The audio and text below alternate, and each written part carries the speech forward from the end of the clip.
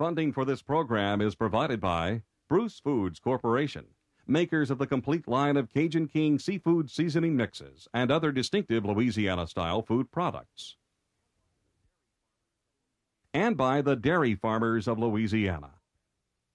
When you want good programming, just add milk.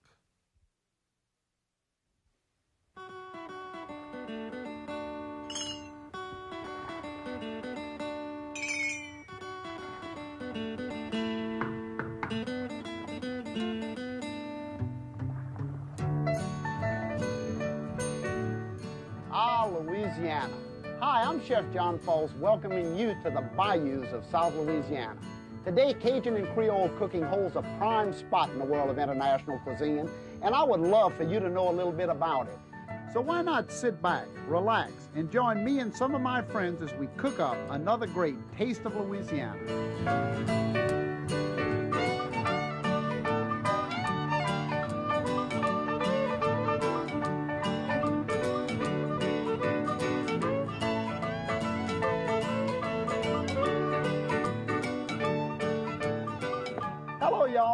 Chef John Folse, and today we're cooking with soul on a taste of Louisiana. That's right, we're looking at the foods of soul cooking, or good old soul food, however you want to call it. What is soul cooking exactly? Well, of course, it's the foods normally attributed to the black cultures in the South. And of course, the churches were a major part of black cooking because obviously on Sundays and a couple days during the week when all of the blacks went down to little Baptist churches on the River Road, gospel singing and preaching was a major part. But sharing of recipes was the main thing that happened right after the service. The preacher was, of course, the center of the attractions at the old Baptist churches. Here we have Zydeco music, and when you think of music in black culture, how can you think of anything else but Zydeco, that great African beat that is so famous in the soul culture of South Louisiana? Clifton Chenier, one of the most famous of the Zydeco musicians in uh, black culture or soul culture of South Louisiana. Of course, the soul restaurants featuring all of the great soul dishes that we're going to cook today just dot the highways of South Louisiana. The Silver Moon Cafe. Boy, if I had a little Creole gumbo in that restaurant once or twice in my life. And of course, Evans, one of the famous places in New Orleans for soul food. Well, we're going to talk a lot about soul food and a lot about the soul dishes. And coming to visit with me in the kitchen just a little bit later is the greatest of all soul chefs in the city of New Orleans, Austin Leslie. What a great, great guy, a great soul uh, cook, soul chef. And we're going to talk about a lot of the recipes that he's taught me over the years. And he's a famous guy. We're going to talk about him when he comes out about what made him so famous. Soul cooking, how do we define it? Well, I guess I said a minute ago that it's the foods attributed to the black cultures in the South. You know, right after the Civil War, the, the country uh, uh, that seceded from the Union was, I, I guess, in a pretty sad state. We were uh, pretty poverty ridden and, of course, in a state of despair. But one thing we had a fair amount of was good food, and that's one thing that we kept real close, near and dear to our heart. The black cooks, of course, that were cooking in many of the plantations had developed the style of cuisine that we know of as soul cooking today. It was a very, very simple way of life, a very simple form of cooking. But boy, was it ever flavorful. And that was the secret. Always in search of flavor in the black iron pots of the soul cooks. Simple dishes, whether it was greens or whether it was a leftover piece of pork meat or whatever, was turned into a great dish in soul cooking. And those dishes are everywhere in the South today. And that's what we're going to cook a couple of those dishes. The first one that I want to do is a dish that's so associated with soul cooking, but always on the holidays, always on the Sundays or holidays in Louisiana. So, what I'm going to do is take this nice pork roast. This is a pork butt. And what I'm going to do is put some little holes in it with my knife because this little uh, uh, pork roast is going to be piqued, as we say in soul cooking. Piqued is any roast or piece of meat that's seasoned with all of the simple seasonings of soul cooking. You know, there was never any uh, flair or flambe to soul cooking either. It was always very simply presented on the plate. Uh, I don't think I ever had a meal in soul cooking that wasn't served out of a big bowl on the table or a pork roast right out of the pot. It was very simply done but boy, was the flavor important. And that's what we're going to do right now flavor this pork roast. Look at the seasonings I have in this little bowl to pique the roast. I have garlic right here, green onions, thyme, parsley, black pepper. Now, you, you, can use any kind of pepper. I like black pepper myself, and of course, some basil, whatever was available uh, in, in and around the city of New Orleans in the south. River Road was always used to pique the roast. Where did that word pique come from? Well, I don't know. Pique kind of meant sauce. Or pique kind of meant that you were uh, you were full of it. So I guess that's uh, what this is, full of seasonings into this old piqued roast. Okay, a little pinch of it down into every one of the holes of the roast. And you can imagine once this starts to cook, how this piqued garlic and green onions, salt and pepper will flavor the interior of the roast. Pork was a major, major part of soul cooking naturally because there was so much of it around and it was pretty inexpensive. So always a lot of pork in soul cooking. Okay, I'm going to finish piquing this old butt roast right here. And then the seasonings again were quite simple. We would put salt, pepper, whatever was available around the old cupboard. Turn my fire up on this pot. I'm going to put just a little bit oil in the bottom of the black iron pot also because we want to brown this roast nicely before we uh, um, before we add the water and other seasonings to it. So now that it's piqued, let me season the outside of it a little, oh, a little touch of pepper, a little touch of salt. Again, as you can see, very, very simple in nature and soul cooking. I'll just pat that all around, put the extra piqued seasonings right on the outside of the roast. Imagine all of those great, great flavors coming together on this soul cooking roast. Okay? And now down into the black iron pot. Now, this roast has a little bone in it. Of course, if you'd like, you could get a roast that's already deboned. I always like to cook with a roast that has a bone in it because there's a lot more flavor, I think, with any meat that's still attached to the bone. And in soul cooking, I tell you one thing, they would have never thrown away the bone. That was a whole new dish. So remember, if you can find a roast with a bone on it, buy that one instead of the deboned version. Okay, once this is down into the pot, you'll let it get nice and golden brown on one side and turn it one step at a time until all sides are equally brown. That's a very, very important uh, thing because you want to crystallize the fat on the outside of the roast. That's where all that great flavor is going to come from. Pork fat has a tremendous amount of flavor, and I think that's why pork was so important in soul cooking. Always that extra flavor in the pot. They didn't have a lot of ingredients to work with, so naturally they wanted a lot of flavor with the ingredients that they had.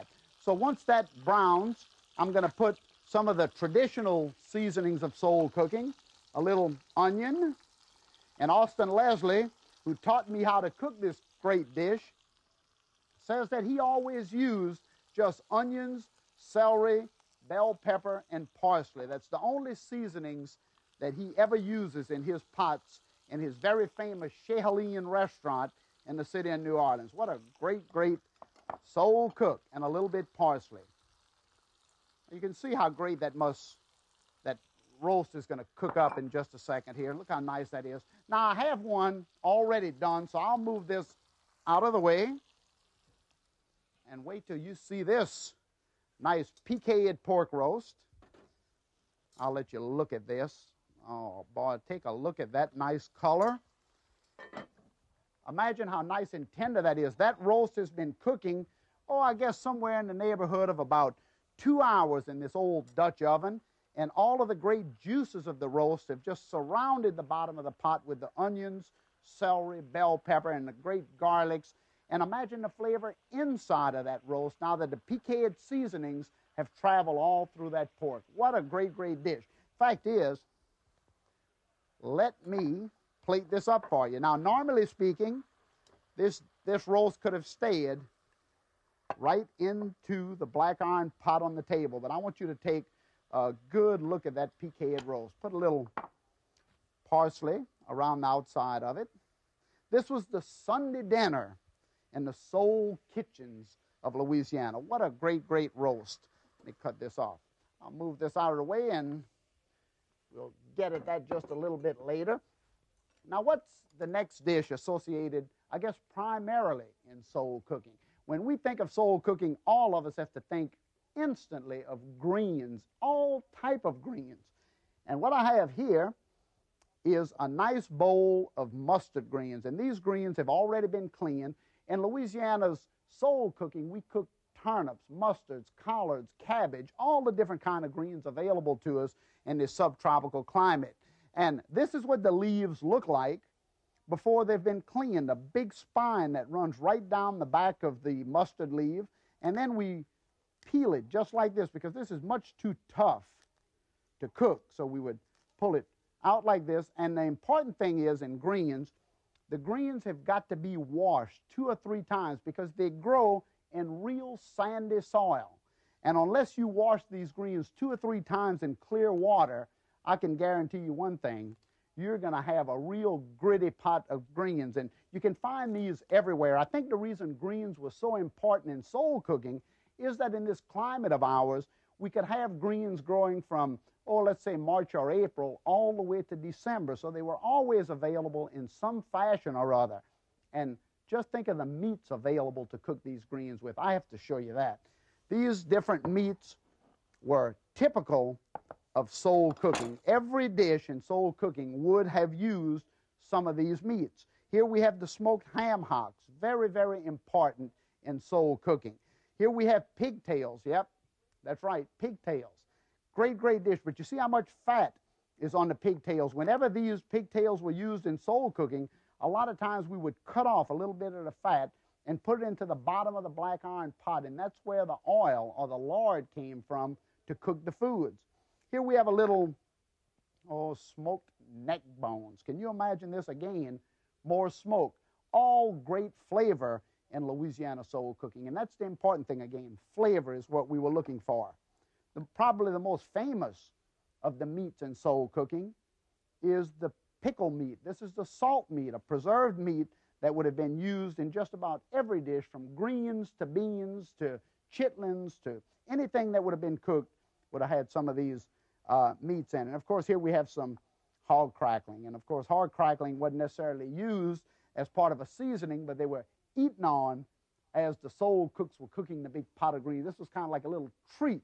So that's all the meats that go into the greens pot. And let me get out this greens pot because wait till you see this thing. This is a famous pot in Louisiana's soul cooking. Look at the size of this pot.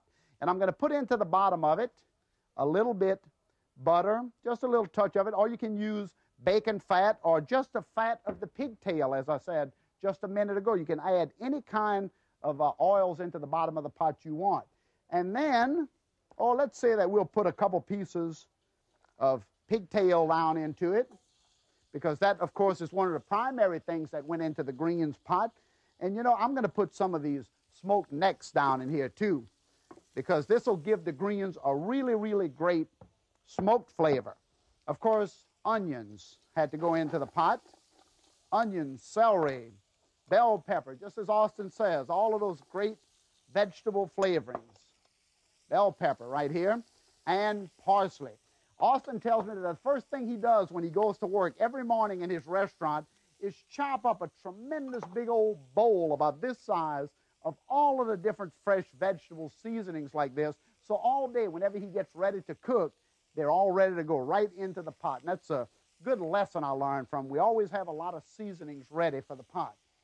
Now, we'll let all of this saute for just a second until we kind of line the bottom of the pot with the oil and the seasonings, and then the greens would go right down into it. Look at this. Now, of course, I want you to remember that as the greens are washed two or three times, there's a lot of water left on the leaves. You can see that how wet these leaves are. Well, of course, the greens need a little bit water to cook. And the water will come from the leaves, from the washing of the leaves. But if you think you need a little bit more moisture in the pot, go ahead and add a little water into it.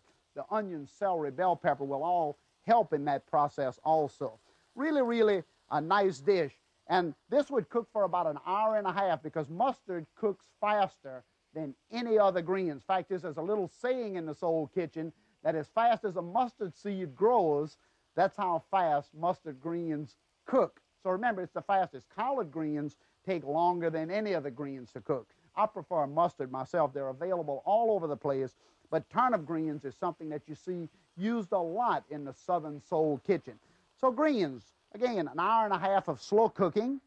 I'll lower this fire so that we don't scorch them. And I want to show you what they look like once they're all cooked. Take a look at this nice bowl of cooked greens, all cooked down. I had some ham hocks in this particular pot of greens because, again, a nice, nice smoked flavor from the ham hocks. Look at the juice in the bottom. This is called pot liquor. Pot liquor from the famous greens cooking of the Soul Kitchen. Very, very important because that's where all the flavor is. But also, one other thing. That's why it was so important in soul cooking to always have a nice platter of cornbread whenever you serve greens. You had to have cornbread because the cornbread was used to sop up the pot liquor from the greens right here. Very, very important in soul cooking. And then a couple other dishes I want to show you quickly. And move the greens out of the way. This dish was one of my favorite growing up and going through the River Road region of Louisiana and visiting some of the black homes and eating some of the foods from our black neighbors. This was one of the dishes that I really enjoyed. This was a turnip stuffed with pork sausage. The pork sausage was really full of flavor, a very simple dish that could be found anywhere. And the soul cooks would take the turnips and route it out and fill it with pork sausage and then bake them in the oven and surround it with a turnip stew. Can you imagine something that simple, but yet at the same time so tasty and absolutely elegant when you think about it in cooking? You ought to really try this. Any kind of stuffing down into fresh turnips. Now, this is not rutabagas. Rutabagas is the yellow turnip. This is the white turnip, as it's called sometimes uh, in cooking. This was a dish I really loved. This is a baked onion. And we had a lot of yellow onions around South Louisiana soul kitchens. And of course, the garden in the back of the house always dictated the dishes that we would be uh, using in the kitchen. Onions were everywhere, and these onions would be hollowed out just a little bit, as you see here, and filled with a little bacon fat or a little lard or whatever, and baked in the oven. Sometimes a little chicken stock was added to it, and it made just a wonderful sweet vegetable after the onions were uh, cooked and browned. Very, very nice dish. And this was actually, absolutely one of my favorite dishes in soul cooking. Well, that's just some of the great things that we think about when we think about soul cooking. And the guy who taught me just about everything I know about soul cooking, Austin Leslie. hey, Austin, hey, I was just talking man, about you. How you doing? Oh Lord, look like look like like you got all the secrets here, man. I look like you just stole everything from me. I'm, I'm gonna be hard to beat now. look, look, look, look, look. Let me tell you something. When I think of soul cooking, I think of you. You taught me how to do most of these things, and look, I hope I, I hope I did them right. I don't know if I'm doing I, them right or right. Sure. They, they look good, you, huh? Look, everything look great, man. Everything I, look great. I want to I want to tell all of my friends out here that they may not have met you personally, but I know they met your counterpart because your restaurant was the restaurant that Frank's Place was patterned after, the great television series. And whenever anybody watched Frank's Place, they were actually watching Austin Leslie. How did uh, that all come about? I tell you, it was so, John, you would, it's hard to believe. The place was so packed when they come in the door. People was eating them, that soul food so great. They went back there, man, the first thing they wanted to know about the gumbo. And they stuffed food with them greens. I mean, they said, right there, they said, look, you got to come up to Hollywood, be the technical advisor to the show. Frank's Place, all of a sudden, I was in Hollywood. I, I tell you, I didn't even look. It was like in heaven. then uh, while I was there, I was cooking that food on the studio. People was coming all out the rafters, man, just smelling that food. The food was great, man. So here it is. No, nothing like soul cooking. Nothing like soul cooking. Well, well I, I, tell you, I'm a student of soul cooking because growing up on the river, as you know, I mean, we, I would walk down the river road and all the black families had the doors open with the soul cooking going. And of course, we'd just go in and out of every every one of the cabins, invited in to eat a little bit food. I just loved it. Let me ask you, you're, you're the king of soul cooking. I've got my own definitions of it. What is your definition of soul food? They call it cooking with soul, you got the food that sticks to your ribs, it lasts all day. It's almost like, you know, having a run of them old good old drink times, you know, and all of a sudden say, look, man, what's, what you got? Some heavy food? That heavy food means some good old rice, greens, red beans, good gumbo, and don't ever leave out that stale bread, that old corn, you know, like say like some bread pudding. I call it stale bread. That really sticks to you. I mean, it's, it's almost like you were saying about, uh, you know, churches. You understand? See, everybody, everybody go all over, and somebody cook some greens. You see, and that's like the repast, and everybody brings that good old food in there, man. And then they start talking about who cooked the best greens, who cooked the best potato salad. That stuff is great, man. Well, the churches I know were actually a source of a lot of uh, of a lot of the recipes. After church was over, everybody would gather in the front yard and share recipes and new techniques. And I remember that well. I really do. That that was a sharing of recipe time right after church. Even the seafood, you know, just like the first people go on the river, cook, fry, you know, catch that fish, catfish. You know, they cut it down the middle, shuck, and take. See, years ago it would be like instead of you use that not the uh, the flour, you know, they'd get that uh, what, what is that the uh, the, uh, the other kind of flour we use uh, bread, uh, cornbread flour, you Right. know, whatever it was.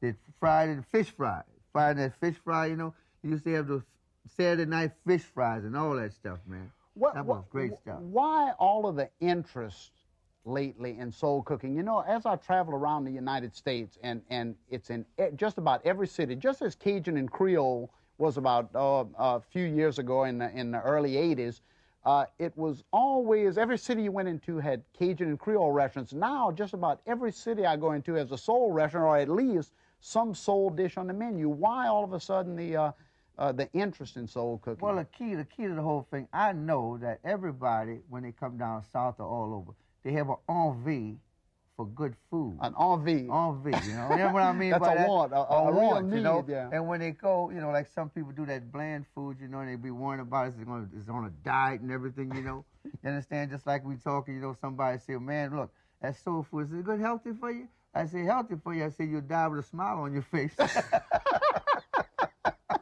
you understand? So, and when they come down south, you understand, they find out, say, like some people say, man, I greens, they don't even know greens are served with rice, you know, that's heavy, you know, they think greens on the side. And then when they taste some good greens that we put that good seasoning in it, you know, it's just like we're talking that flavor, you know, put that bacon fat in there, you know, those little, little uh, garlic, parsley, celery, and all that stuff. See, a lot of people don't, they don't cook it right, and that's why they can't come out right with it. and they don't have the flavor. Now, you were telling me one day when we were sitting talking about soul cooking, you said that some of the black cooks who actually worked in the early kitchens of New Orleans developed soul cooking by just taking what was going to go into the garbage can No and bringing it home and No using it. Is that true? Well, yeah, well, let's face it, just like the bellies on the fish, you know, people throw the bellies away. Some people didn't even know they had a fish had a belly. You know, just like the, the chitlins. And see, that's like the bottom part, you know, like the calf part, a good shank. People didn't know what shanks was all about. But see, if you go down in New Orleans or down south, you go in all the black neighborhoods, that's what they have in, in the market. They have, you know, oxtails. I mean, have, I was in a restaurant, a lady came there just about, about two weeks ago, and we was talking about pigtail. She was from up north. She thought a pigtail was a ponytail.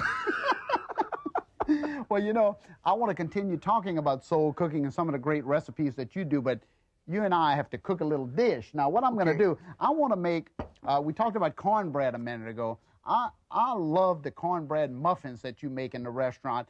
And one of them that I really like is the fig corn muffin that you make. So what I did, I, I got, oh, I guess about a, you have to tell me if I did right here. I got Oh, about you- a, I got about a cup of, uh, of cornmeal in here, white cornmeal. I got about a half a cup of flour, and I got all that in the bowl. Now, here, I got to put one, one egg in. One I'm egg. using a yellow egg. You told me that's the best egg. Oh, yeah. The yellow Oh, yeah. shell. Oh, yeah, yeah. Huh? Why is that? Tell me that. oh, look, it come out much better, I tell you that. Those big old oh, yolks. big old yolks. Put put one egg down. Why don't you stir that up All for me right, real all right. good?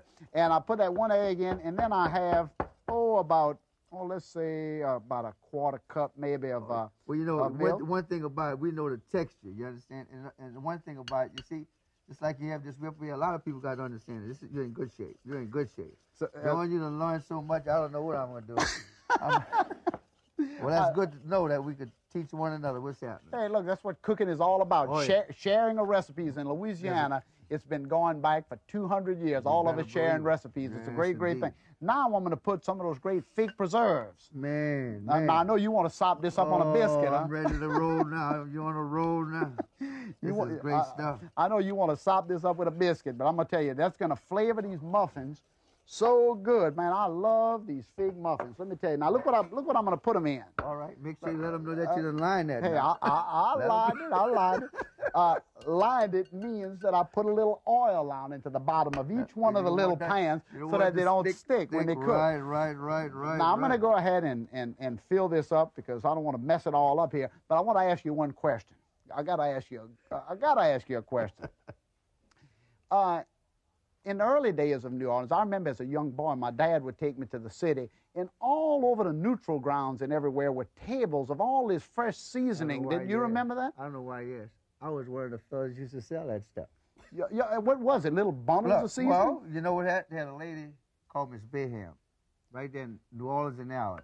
She grew all that stuff. Uh-huh. You understand? And she sent it to the market. We'd go around and sell. it. You call that a seasoning bunch.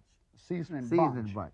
You know, you put the celery, the bell peppers, the, the, the parsley, the garlic, and all that little thyme, little bay leaf, little basil, and all that stuff, and tie it up and go to the neighborhood, sell it for five cents. I make a penny on it.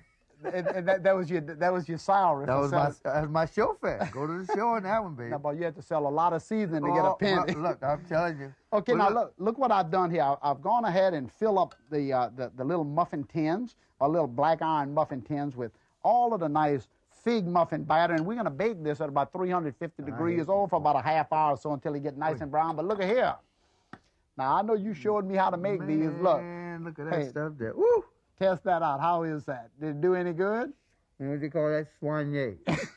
Let the bon ton roll on. Let the let the bon temps roulette, let Oh, the good yeah. times roll on. Well, I'm going to tell you, You've this done a beautiful job. This is a great, great little muffin. I'm glad you taught it to me, but more important, I'm glad that you came to visit with me today as we cooked a little soul cooking. Thank you so much. It's a real pleasure being here, too. I love it. And I want to thank everybody out there for visiting us in our soul kitchen today. And come back next time as we continue to cook up more of these great Taste of Louisiana. Over there.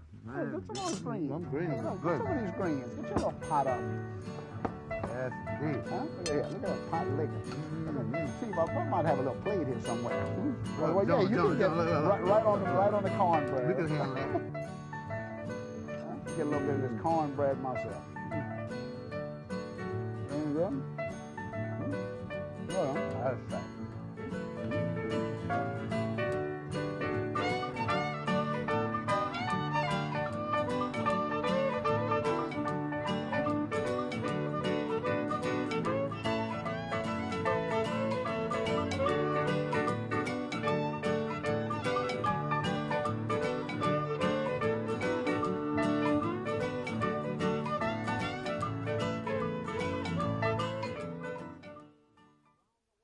Funding for this program was provided by Bruce Foods Corporation, makers of Bruce's Yams and other distinctive Louisiana style food products.